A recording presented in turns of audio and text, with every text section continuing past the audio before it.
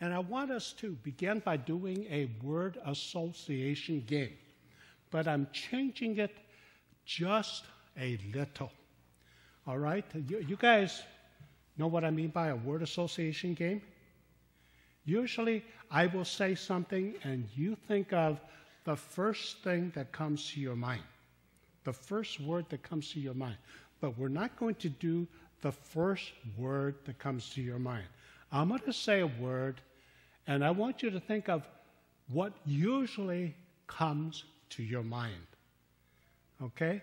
Uh, because you know this word, you've heard this word before, and uh, we all have different things that we regularly associate with it when we hear this. You ready? Everybody awake? If your neighbor next to you is sleeping, give him a good pinch. just, just kidding. Okay. Um, all right. Here comes the word. The word is, and what usually comes to mind. The word is salvation. Salvation. Give you a moment. All right. So, have you thought of what usually comes to your mind? And uh, read them. You were the first to nod. So, what word usually comes to your mind? Salvation Army. Okay. Let's, let's move away from this side of the uh, aisle and over to this side. Michael, what, what usually do you, comes to your mind? God. God. Okay. Charles, what comes to your mind? Jesus. Jesus. Okay, over here. Uh, Phil, what comes to your mind? Rescue. Rescue. Andy? Hope. Hope. All right. Luis? The cross. The cross. Okay. You know, these are all good and these are all proper. I thought about it and I think they come in a lot of specific categories. One category I call the kind of rescue categories, okay? Rescue from hell, and that includes heaven.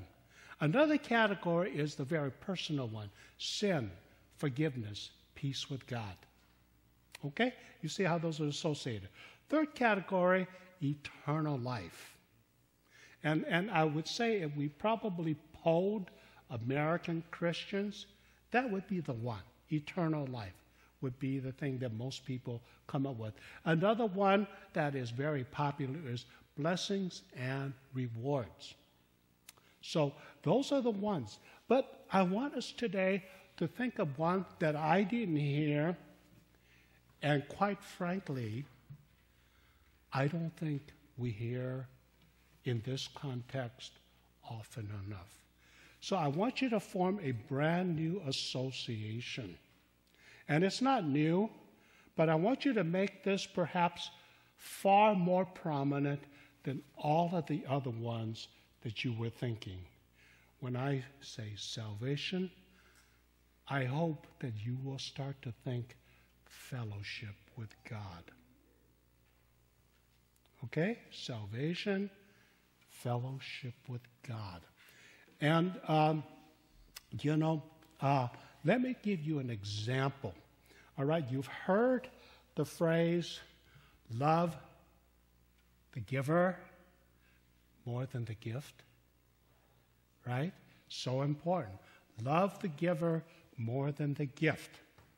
Well, with salvation, the giver and the gift at one level are the same thing. God comes and he gives himself. He wants to do more than cleanse us of our sins. He wants to do more than deliver us from hell. He wants to do more than all the things that we usually think about. He wants to give us the greatest happiness possible, and that is Himself. Fellowship with Himself. You remember there is a saying, happiness is, and you fill in the blank, okay? Uh, I want to show you a happiness is picture. Can we put that up?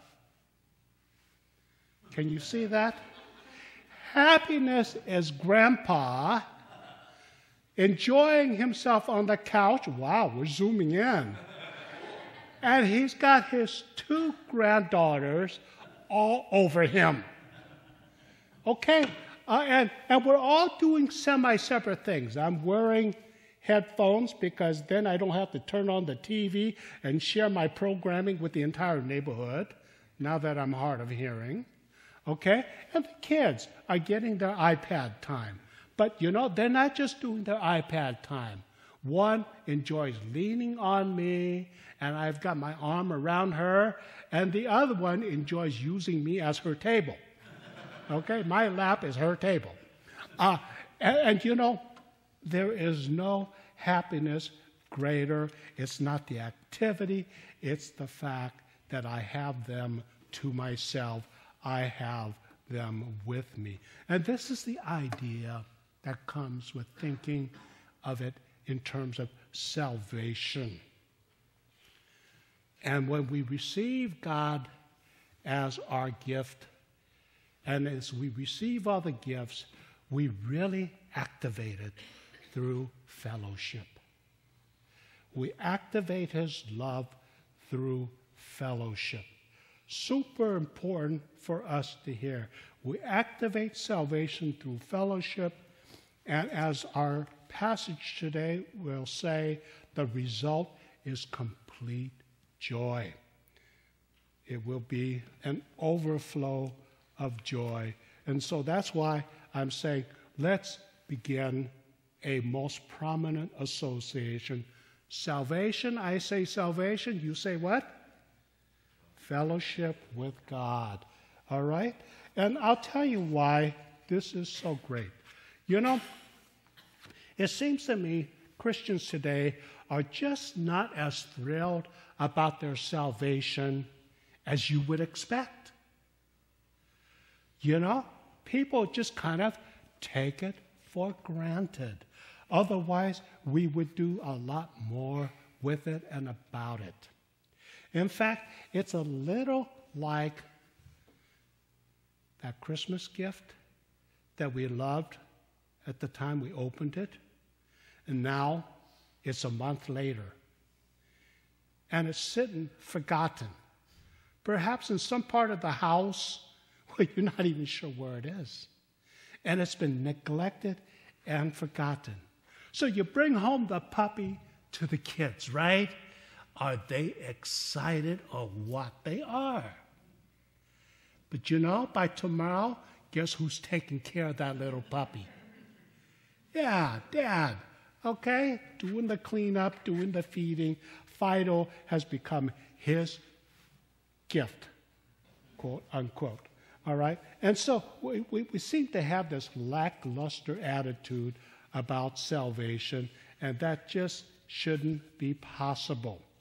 And I think it's because people often associate it primarily with things that are negative forgiveness of sins, escape from hell, avoiding judgment and God's wrath. These are kind of negative. They're blessings, but you know, they're a little bit like when we went to school. And we had two kinds of teachers that were very memorable. There was the one who was the strict disciplinarian, right? And then there was the one who was your friend. And later on, when you finish and you return to the school, which one did you seek out? It was the one who was your friend. The one who could joke with you, the one who could talk with you, the one that everyone liked. And so that's the difference to take the negative association or the positive association. And so, fellowship, I think, takes us in the right direction. As a parent, we want our kids to love us not for what we provide, not for what we do, but just for ourselves, just for the relationship. Aren't we happiest just to have them want to be with us. My daughter in law said something to Pat and myself recently that was just the most wonderful thing. Now, most of you know we've left the old house and we've moved into this tiny little townhouse. We've lost half of the space we used to have. So the four bedrooms are gone, et cetera, et cetera, et cetera. And so now we're in this cramped little townhouse, and they moved in right after they got married. And they've been looking for a place to move to. But she said to us recently, You know, I could just live here indefinitely. And you know, it wasn't as if she wanted to just kind of take advantage of things. But you know, the togetherness was good enough that she didn't feel compelled to move, to go on, to find her own place. She felt there was enough freedom, but enough closeness. They felt there was enough provision and cooperation. She felt all of that. And see, that's what we're looking for in life to have that kind of relationship, that kind of fellowship. And that's the way God treats it. And that's why I want us to make this the primary association. You know, God not only loves us, God even likes us. I say that because there's a sister who often says that to me. She says, I love my family, but most of the time I don't like them. and you get it, right? You have these ties that bind, but sometimes these ties are pretty confining. And you want to have that kind of like relationship. And especially today, because as we go on Facebook, it's easy to get depressed. Everybody else has more friends than me. Everybody else is doing more exciting things to me. And then, if we could only focus on somebody super important who both loves you and likes you, you could throw away the Facebook. And that's what we have God, the Almighty God, loves us and He likes us. And He does it not just for mankind, He does it for us personally, individually. As He says in Isaiah 43, He knows us by name. You know, most of the time we meet somebody, they tell us their name. How long does it take for us to forget? Half a second? Maybe less? And here's God who knew us by name even before we came. I think of the moms and the dads who are planning for their child and they're picking that name and they experience such great joy at finding just that perfect name. Ephesians 1 3 says this, and I'm going to take this into verse 4. Ephesians 1 3 says, Blessed be the God and Father of our Lord Jesus Christ, who has blessed us in Christ with every spiritual blessings in the heavenly places then verse 4 even, even as he chose us in him before when? The foundation of the world. Before he started creating, he knew us by name. He chose us, and then, just like a new parent would do, they will choose the room, they will decorate the room, they will furnish the room, they would put up the wall coverings, they will do all these things to express that. And that's what it talks about in the previous verse, where they will bless us with every spiritual blessing because He's already chosen us. And that's how He loves us. And then in verse 5, if we jump ahead, it says, And you know what? He predestined us for what? Adoption as sons. Okay? Now, this is part of that love. And what it says is he wants a permanent relationship with us. You guys heard of The Lone Ranger? Used to be a TV show, right? And so a town would be having some problems, and the Lone Ranger would show up and he would solve the problem. He would save the town. And then he would do what? Every episode. He would get on his horse and he'd yell, Hi-O Silver. Silver was the name of his horse, all right? So he was getting his horse to Let's get going. And he was telling his horse, Let's get running out of here. You know? God is no Lone Ranger. He didn't just come and save us and he wants to get out of here. He wants a permanent relationship. And in the Lone Ranger, as he's riding away, they would always show two of the townspeople. And they would look at each other. And one of the townspeople would say, Who was that masked man? Right? They never got to know him. He came and he saved them, and then he gets out of town. He's gone. He's no longer a part of their lives. God is not like that. He adopts us as sons. He wants something permanent and close and complete. So different.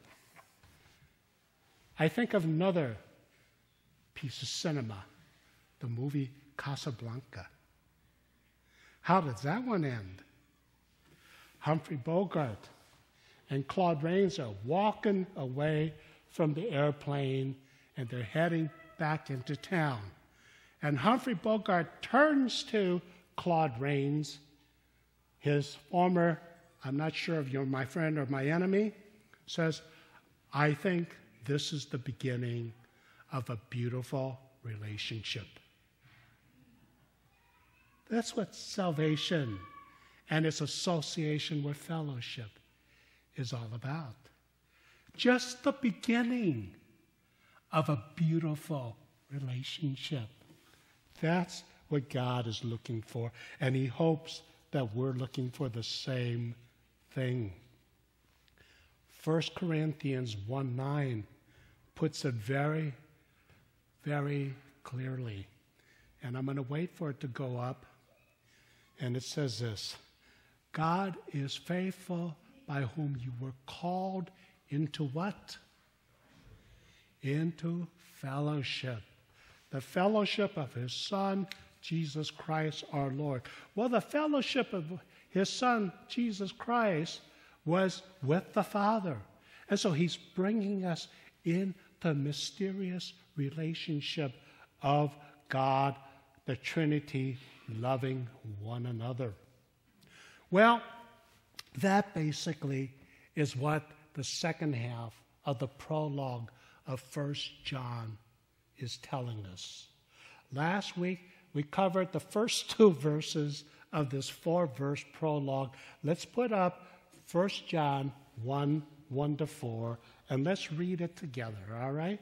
And uh, the first half, the first two verses, John is saying, don't listen to the heresies that are coming into church that says that Jesus was not God, he did not come in the flesh because flesh is evil and God is spirit and he is therefore good.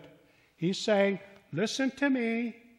All right? No, no, starting at verse 1. Listen to me, John says. He says, We know what we're talking about. We live with this guy. We spent time with this guy. We were there from before the, we were there from the beginning to the end. And we speak with authority. That's what the first two verses says. All right? And then he comes to, and the result is that you might have fellowship, and that through the fellowship, you will have complete joy.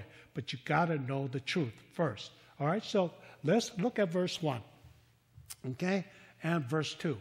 That which was from the beginning, which we have heard. See, he's talking about Jesus, which we have seen with our eyes, which we have looked upon. And then he gets to the part about post resurrection, we have touched with our hands concerning the word of life. Okay? Next verse. And he's using the same kind of language that he used in the Gospel, chapter 1 of John. All right? So he says, and the life was made manifest to us. In other words, what we could not have expected or understood became clear when it appeared in front of us, and we have seen it, and we now testify to it and proclaim to you the eternal life that comes with it, which was with the Father and has been made manifest to us. Now he gets to the fellowship and the joy. Verse 3 that which we have seen and heard, he's repeating back, making sure we tie it in with the true gospel that he just talked about in verses 1 and 2. Now we proclaim also to you so that you too may have fellowship with us. And indeed, actually, our fellowship is with the Father and with his Son, Jesus Christ. We enter into the heavenly divine fellowship. One more verse, and we are writing these things so that our joy may be complete. And so he is saying that that is the purpose. And when I was reading this and studying this, and I realized that we need to make this primary association where when I say salvation, what do you say? Fellowship. Fellowship with God, okay? I was saying, am I going off out on a limb by making this strong an association? Then I ran across this quote. Let me read it to you. It goes like this The more I think of and pray about the state of religion in this country and all over the world, the deeper my conviction becomes that the low state of the spiritual life of Christians is due to the fact that they do not realize that the aim and object of conversion is to bring the soul, even here on earth, to a daily fellowship with the Father in heaven. And for those of you who know, this is a quote from Andrew Murray.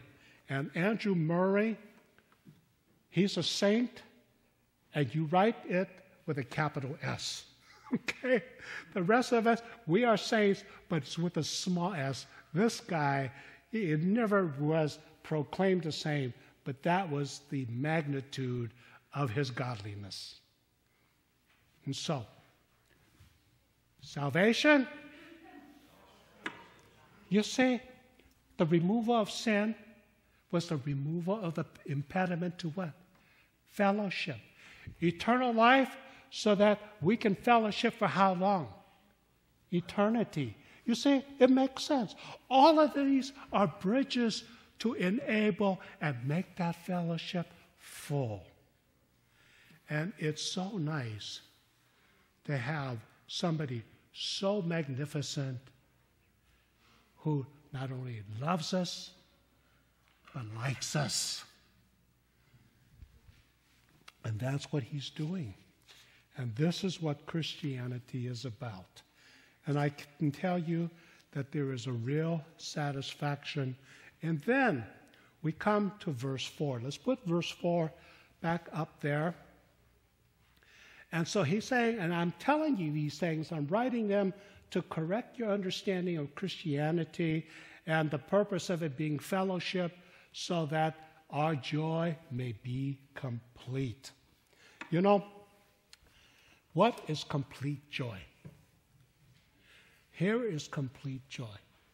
Complete joy is when the joy is so great in its power and its vast hold in your life that it eclipses every other negative experience. You could be going through troubles. You can be in the middle of fear. You could be in the middle of uncertainty and the unknown. You could have been rejected and hurt by somebody very deeply. But through this fellowship, you can have the kind of joy that takes over and pushes out all those things and gives you the power to move forward. and deal with it in life. And that's the blessedness of this fellowship. Well, Lord's Supper, so we're going to conclude.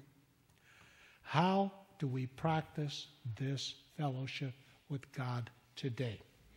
Well, it begins with starting into that fellowship, and our entry is to remove the impediment. And so we say to God, Forgive me my sins. I want you as my Lord and Savior, right? That's called accepting Jesus Christ and becoming a Christian. So that's the first step that every one of us needs to go to.